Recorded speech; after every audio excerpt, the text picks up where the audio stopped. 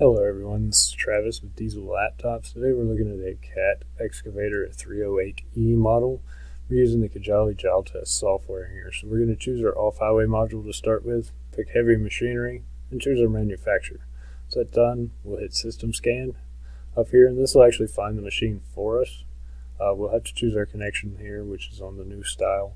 If we did want to, we could go down and actually pick our model of machine out, but this is probably the simplest way to get connected here. Okay, it's going to go through and scan, look for all of these. I've sped this process up. It does take around two or three minutes to find all the modules on the machine. Um, once you've done so, you'll see these, you know, highlight up here, and it's going to tell you, you know, we've got our machine control module at the very top here, and then the engine ECM, which is what we're going to take a look at here today. It does tell you whether that communicates on CDL or 1939 network there and it'll take it just a few seconds to connect. Get a little bit of identification information, and we can go in here and read fault codes. Currently, no codes in the machine. Um, if there were, we can go in here and actually clear them too as well. But we'll go to ECU data. It's just going to give us a little bit of information on the ECU itself. And then parameters are things we can get in here and change. So we can go in here and code injectors. Um, we can display them as well, which will give us our current injector code that's in the system. And then by going down to injector coding, you accept for your expert mode, and you get a little bit of information on here on how to do that. Okay, we're gonna back out of that because we don't have any injectors to code today, and we'll look at monitoring, which is just going to be your live data. Okay, so this is going to be all your different parameters here. You can narrow that list down if you want. Um, there's 11 pages, so I'm going to kind of flip through these fairly quickly. Just want you guys to get a little um, taste of what this looks like here.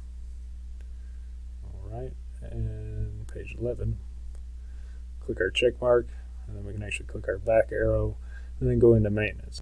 So one thing you might not have noticed here with the injector coding and these three commands here is this is actually a Kubota engine that's been rebadged. This is a V3307.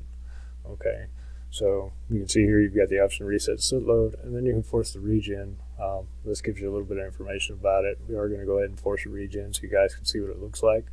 First thing I got to do is I got to get it up to operating temperature. So I'm going to kind of skip through this part here since it's obviously still cold there at 98 degrees. Once we get up to our, to our temperature here, we're at 150.8. I'll let it idle back down. You can see then at that point, all of those we got in the green check marks. We're okay to go ahead and proceed. We're going to get a couple little warnings here that the regen has been requested from the tool. So we'll click accept again. It's going to process and then we'll click continue with the process one last time. And this will actually request the regeneration.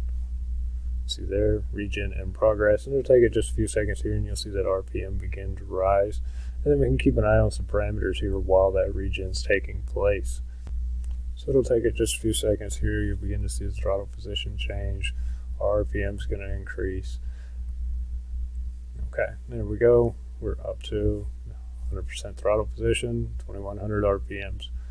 Alright guys, overall pretty good coverage on this machine. Thanks for watching.